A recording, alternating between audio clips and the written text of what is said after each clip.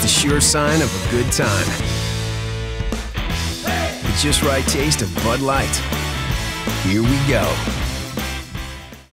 Going to get an MRI tomorrow on it, first thing in the morning, and uh, you know, just, just got to be positive about it and go about it the right way. We want to be smart about it. Um, it's unfortunate, you know, I feel really bad that it happened. Prepared all off season to have uh, a great game, not only against the Eagles, but you know, to help lead this team, and it's just unfortunate that it happened. Is it similar to the one you had in 08? Does it feel the same way? This is a quad. 08 was the groin. Um, but, you know, like you said, I mean, we've been down this road before, and we're going we're gonna attack it and, and be proactive.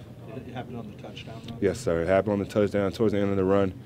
Um, one of those freak things. Just, just felt a little, a little something there, and uh, tried to go back in there that second series, and um, I, I just couldn't be the runner that I wanted to be.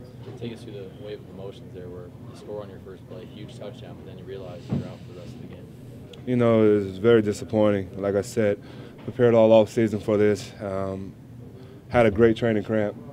Really felt mentally and uh, in tune to this game plan. I was looking really forward to it, and um, I knew I knew I could have had a big uh, big role in in this game, and for us to just jump on Philadelphia like we did, and for me to have the news that I won't be able to finish the game, is very disappointing.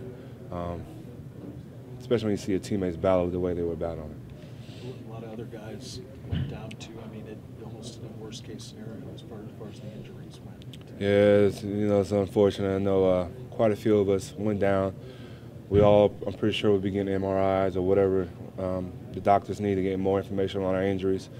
But at this point, you know, um, this is when you had depth. This is when you have you brought those guys in the offseason, some of those veteran guys like Cadillac and those guys to step up for us while we uh, lick our wounds. And uh, hey, if we're going to have our injuries, you know, let's get them out the way now. Then I guess.